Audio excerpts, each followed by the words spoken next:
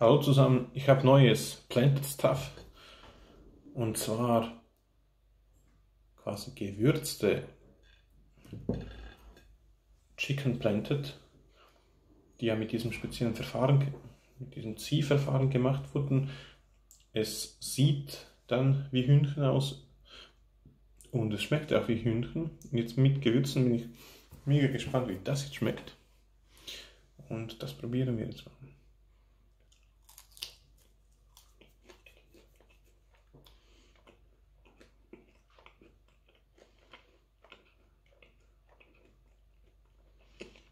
Mm. Richtig gut. Mm.